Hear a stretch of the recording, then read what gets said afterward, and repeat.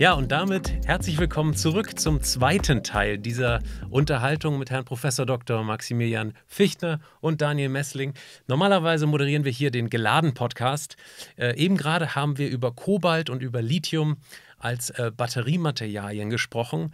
Jetzt sprechen wir über Natrium-Ionen-Batterien. Falls ihr den ersten Teil nochmal sehen wollt, liebe Zuschauerinnen und Zuschauer, hier oben ist ein Link dazu ähm, zum Kanal vom Helmholtz-Institut Ulm. Jetzt befinden sich auf dem Polis YouTube-Kanal und wir sprechen über Natrium-Ionen-Batterien. Herr Professor Fichtner, was macht denn eigentlich Natrium-Ionen-Batterien ähm, so attraktiv aus Nachhaltigkeitsgründen?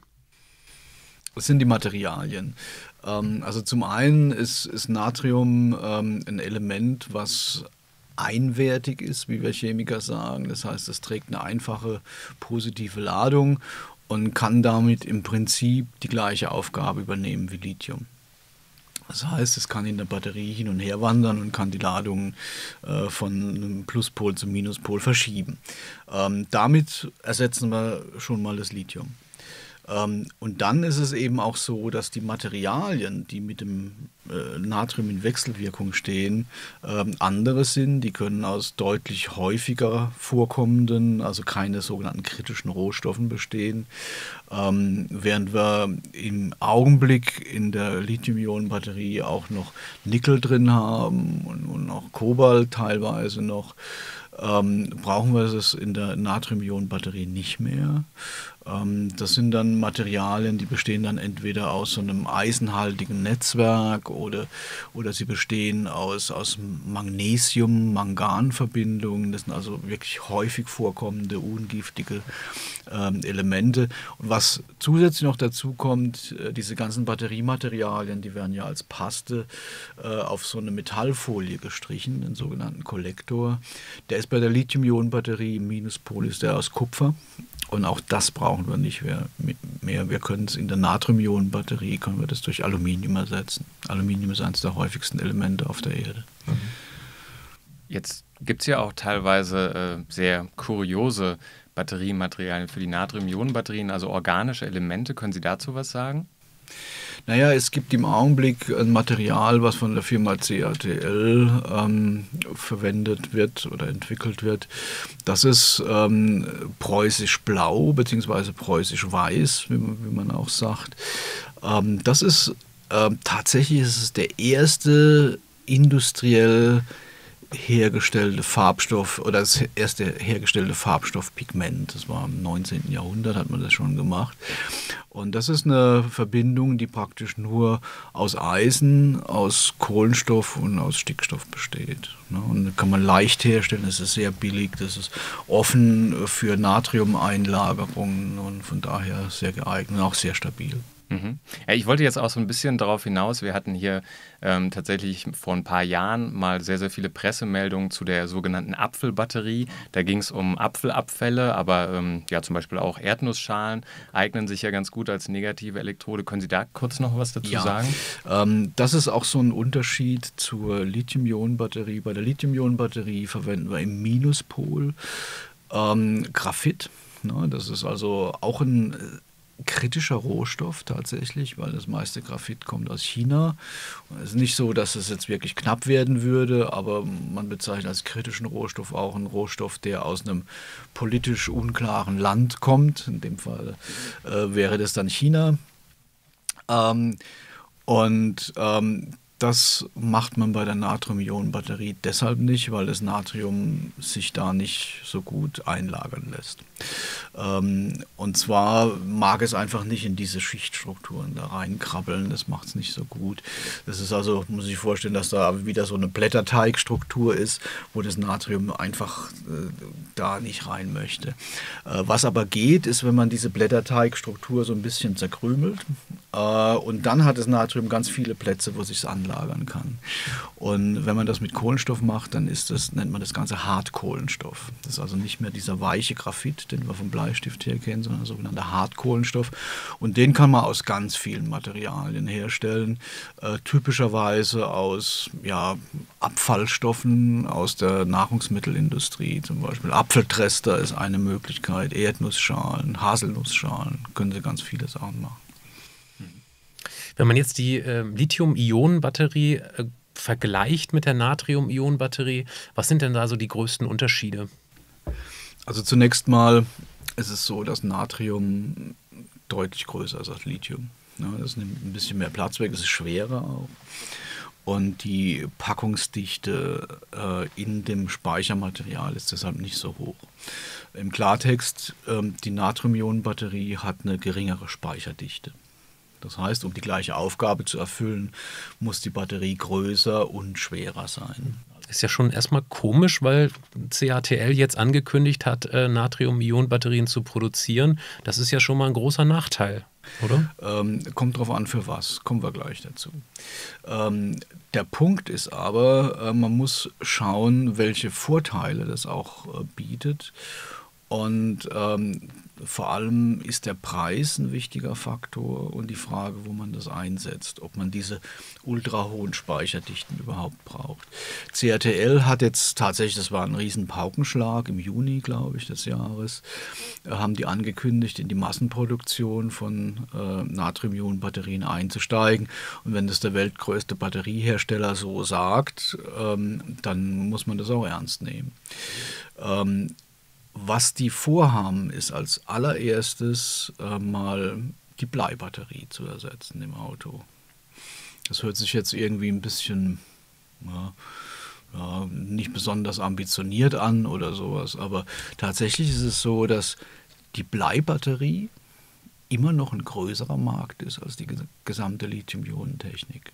Ja. Ähm, das ist äh, ein Umstand, der oft nicht bekannt ist. Das heißt, derjenige, der die Bleibatterie durch eine neue Technologie ersetzt, der hat ein riesiges Feld. Ja. Bisher hat man das auch mit Lithium-Ionen angedacht, aber die waren dann preislich nicht konkurrenzfähig. Ja, das, das Blei äh, profitiert davon, dass, dass es halt recycelt wird. Durch das Recyceln ist, ist, der, ist der Preis des Bleis vergleichsweise gering. Und da muss man dann schon dicke Bretter bohren, um da preislich drunter zu kommen. Ähm, CATL ist ganz offensichtlich der Meinung, dass man es mit der Natrium-Ionen-Batterie schaffen kann. Ähm, und da spielen noch zwei andere Faktoren eine Rolle. Das eine ist, die Natrium-Ionen-Batterie äh, ist recht schnell. Äh, lässt sich also das Natrium, obwohl es größer ist, ist es auch weicher. Das ist wie so ein, ich sag mal, wie so ein halb aufgeblasener Luftballon, der, der da irgendwie rein und raus geht in das Material. Der kann sich da so schnell so rein und wieder raus äh, quetschen. Ähm, das heißt, die Beladungsgeschwindigkeit ist hoch. Ähm, das ist ähm, schon mal ein ganz wichtiger Punkt. Und vor allem ist vor allem die Kaltstartfähigkeit äh, deutlich besser als bei der Lithium-Ionen-Batterie. Bei der Lithium-Ionen-Batterie haben sie mit dem gegenwärtigen Kathodenmaterial äh, etwa bei minus 20 Grad noch 70 Prozent Restkapazität. Ja, bei der Natrium-Ionen-Batterie sind es 90 Prozent. Das ist natürlich ein riesiger Unterschied. Das ist eine Sache. Dann wollen sie alle zwei und drei Räder damit ausstatten. Und dann äh, wollen sie in den Stationärbereich gehen und in den Fahrzeugbereich. Und im Fahrzeugbereich, da ist, haben wir auch wieder diese Situation, wo wir beengte Platzverhältnisse haben. Und ähm, da können uns zwei Dinge weiterhelfen oder könnten der Natrium-Ionen-Batterie zwei Dinge weiterhelfen. Das eine ist, ist dass sie zwar äh, von der sogenannten gravimetrischen Speicherkapazität deutlich geringer ist als die Lithium-Ionen-Batterie. Die ist leichter, da ist also mehr Energie pro Masse, aber die volumetrische Energiedichte, also wie viel Energie in einem Volumen gepackt werden kann, die ist gar nicht mal so verschieden im Vergleich zu ihrem nächsten Counterpart auf der Lithium-Ionen-Seite mit dem Eisenphosphat.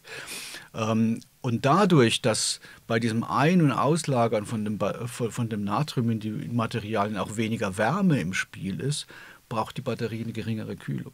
Das heißt, ich kann die in einem äh, Batteriepack, kann ich die Zellen dichter packen. Und das heißt, wir haben auf Systemebene womöglich vielleicht gar keinen Nachteil. Hm. Vergleich zu einer Lithium-Eisenphosphat-Batterie. Mhm. Und, und dann wird es richtig spannend, weil die, die Rohstoffe für, für die Natrium-Ionen-Batterie sind halt deutlich billiger. Ähm, da gibt es unterschiedliche ähm, Aussagen dazu. In der Vergangenheit ist man davon ausgegangen, dass eine Natrium-Ionen-Batterie sich vom Preis her nicht viel unterscheiden wird. Ähm, CATL sagt jetzt, die Natrium-Ionen-Batterie kostet vielleicht nur die Hälfte mhm. Äh, von der Lithium-Ionen-Batterie und das ist natürlich ein, ein, gewichtiges Wort auch.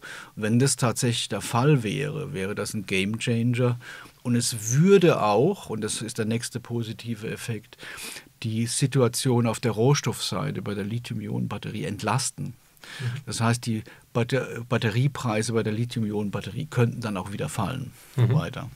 An dieser Stelle möchte ich Ihnen ein kleines Zitat einspielen, und zwar von Ihrem Vorgänger, äh, der ehemalige Direktor des Helmholtz-Instituts, Stefano Passerini. Der sagt, ähm, dass die Markteinführung der Natrium-Ionen-Batterie durchaus am Preis des Lithiums abhängt.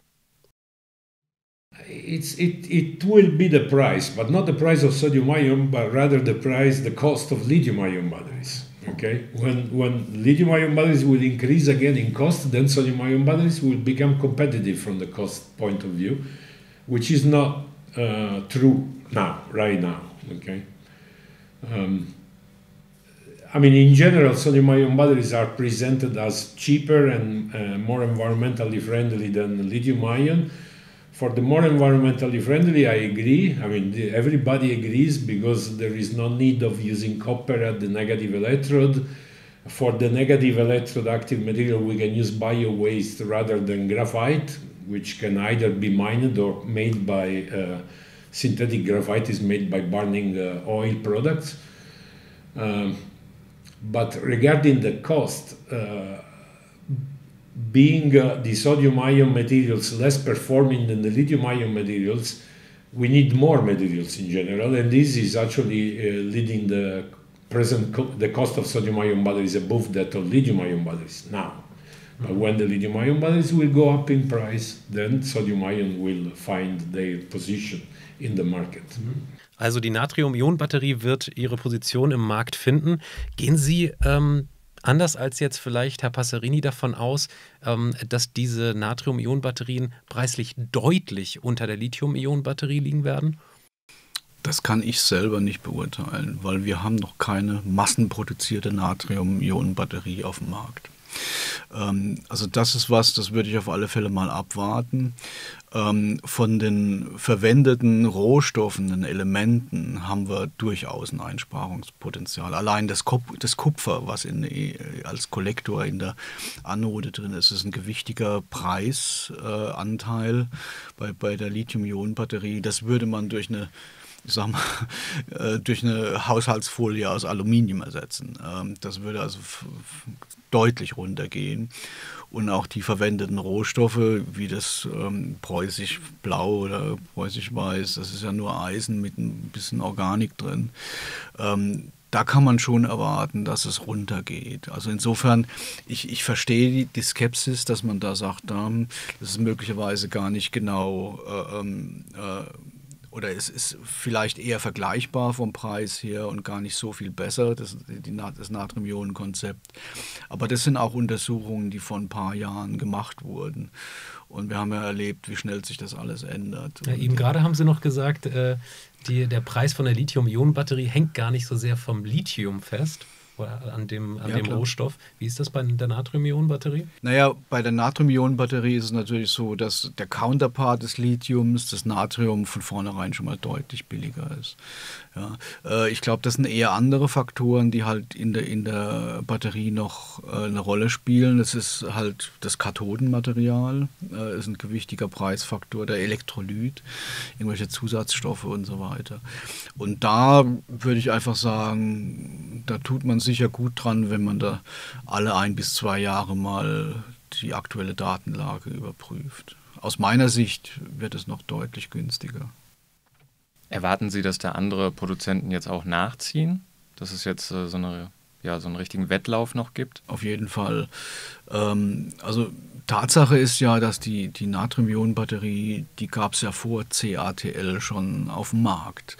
Ähm, die Firma Faradion in äh, Großbritannien hat die ja letztes Jahr schon auf, auf den Markt gebracht. Es gibt ta tatsächlich in China auch äh, eine Firma, China, also High-NA, ähm, die auch schon für kleine Autos Natrium-Ionen-Batterie äh, produziert. Das kennt man hier halt nicht, weil, weil die hier nicht angeboten werden. Ähm, aber jetzt ist natürlich klar, ähm, da gibt es äh, ein riesiges Interesse auf einmal, weil man halt auch sieht, dass auf, auf Systemebene äh, die Natrium-Ionen-Batterie möglicherweise gar nicht so viel schlechter ist. Also man muss sich das so vorstellen. Ähm, wir wollen ja letzten Endes wollen wir ein Fahrzeug haben, ähm, mit dem wir eine bestimmte Reichweite haben, sagen wir mal 400 oder 500 Kilometer. Und es soll schnell beladbar sein, es soll bei tiefen Temperaturen gut funktionieren, es soll nicht teuer sein. Ja. Ähm, von all diesen Punkten ist eigentlich nur der erste Punkt äh, kritisch zu sehen bei der Natrium-Ionen-Batterie, weil eben die, die Speicherdichte geringer ist. Wenn wir es aber schaffen, durch die sogenannte Cell-to-Pack-Technologie mehr Speichermaterial in die Zelle zu bekommen, wenn wir es schaffen, diese Zellen dann auch als integralen Bestandteil im Chassis des Fahrzeugs zu integrieren. Wenn wir, wenn wir es schaffen, die Zellen konstruktionsmäßig vom Design her dichter zu packen äh, in, in dem, dem, eigentlichen Wanne, in der die, die, dieses Batteriepack aufgebaut wird, ähm, dann ist auf einmal die Natrium-Ionen-Batterie in der Gegend von der Lithium-Ionen-Eisenphosphat-Batterie Lithium und äh, könnte konkurrenzfähig sein. Ich halte das für nicht ausgeschlossen. Ich glaube, dass wir in zehn Jahren ganz anders über die Sachen diskutieren als heute. Mhm. Spannend. Ein, äh, ein Aspekt, den wir noch nicht angesprochen haben, ist die Sicherheit von Natrium-Ionen-Batterien. Ähm, wie verhält sich das ähm, jetzt im Vergleich zum Beispiel zu dem E-Auto-Akku von, von unserem Institut beispielsweise? Ist das sicherer oder? Also es wird immer gesagt, die sei sicherer als die Lithium-Ionen-Batterie. Ähm, aber ich habe noch keine Tests gesehen, wo man sowas wirklich mal in einem großen äh, Maßstab äh, verglichen hätte. Ähm, auch da gilt Experiment vor Vermutung.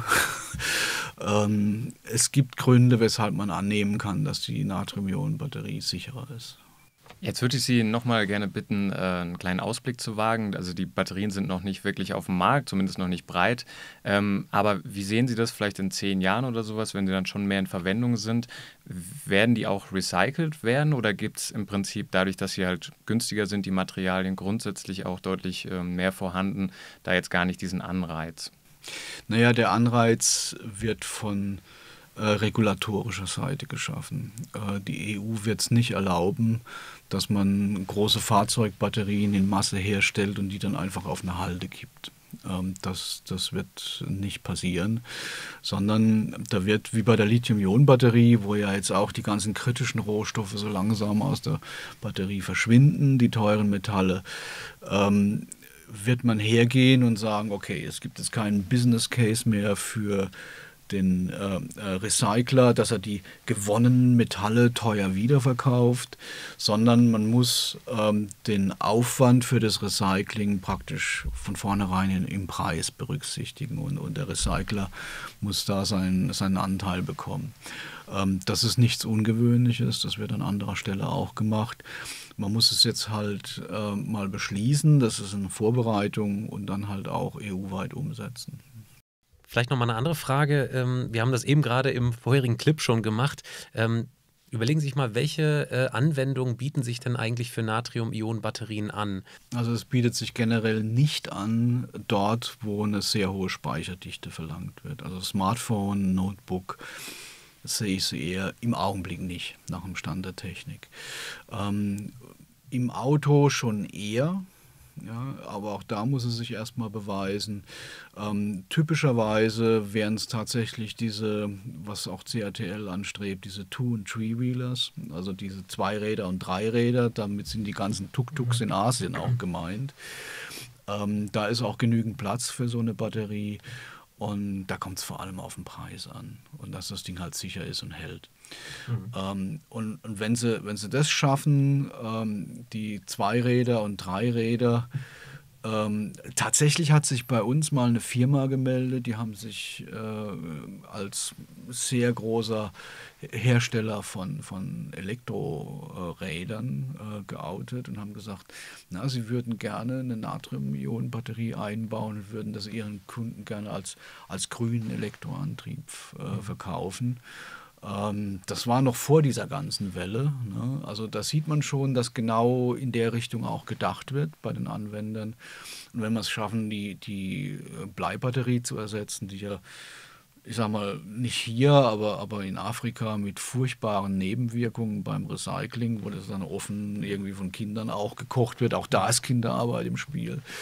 Ähm, da muss man sagen, da hätte, hätte man was Gutes getan.